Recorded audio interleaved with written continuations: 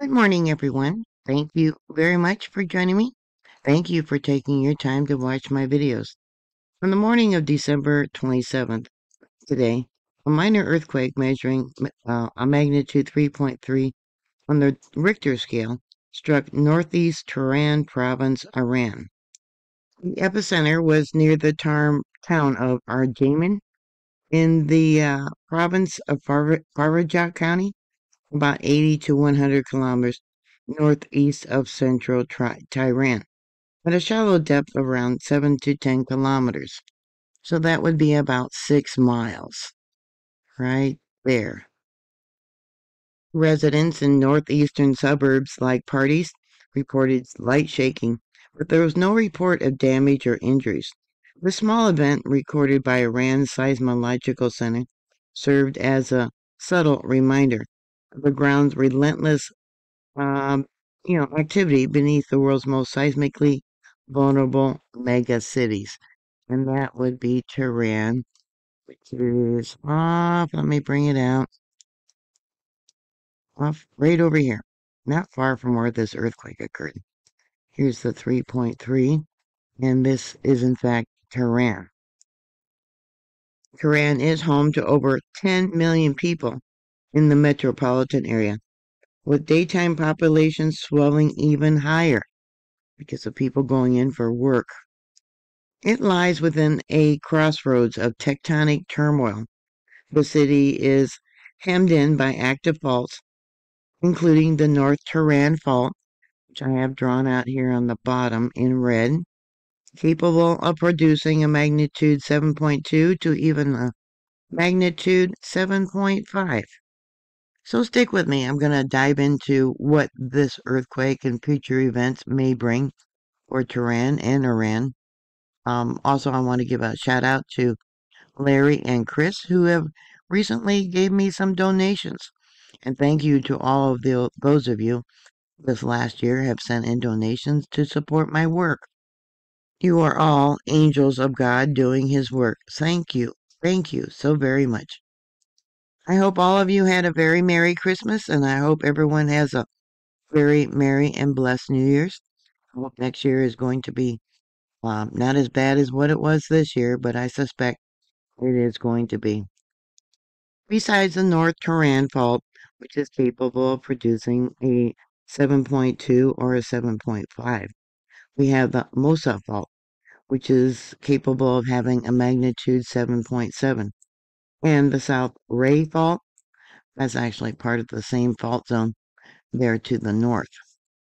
These are driven by the relentless northward push of the Arabian Plate against the Eurasian Plate, compressing and fracturing yeah, the uh, mountains in that location, which is the Alborz Mountain, which is the backdrop for uh, Tehran. They can see that from the northern skyline. Historical records paint a grim picture. The last major earthquake to severely impact Tehran occurred in 1830 with an estimated magnitude of maybe a 7.1 to a 7.4 along the uh, Mosha Fault, which is drawn out in red, and I'll bring this out. They've had a lot of large earthquakes. The closest one here was in 1957, a magnitude um, 7 or la larger. It actually created a tsunami for the Caspian Sea. Let's see, I'll bring it out more. There was also earlier events, such as 855 AD quake that devastated ancient Ray, now um, the uh, southern Tehran area. Um, that killed tens of thousands of people and seismologists note that destructive quakes strike the region roughly every 150 to 200 years, placing Tehran in a seismic gap, as they call it, that is now overdue. Many of Tehran's buildings, especially older structures in the dense southern districts, were constructed without modern seismic codes or proper enforcement. Studies, including uh, collaborations with Japan, JICA, and um, other associations predict Um, hundreds of thousands to millions of people could die in a large earthquake uh, close to this location. Just days before this recent 3.3 earthquake, uh, the head of Tehran's Disaster Mitigation Organization stated that a quake above a magnitude 6 could cause losses uh, far worse than any war. Tehran is a city living on borrowed time, and hence building, retrofitting, stricter codes, and public preparedness are critical.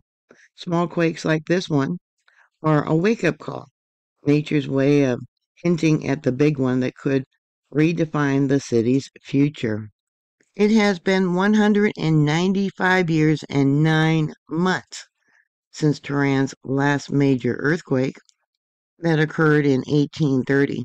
So if they have a major earthquake every 150 to 200 years, yes, they're definitely in that time frame for a large and devastating disaster.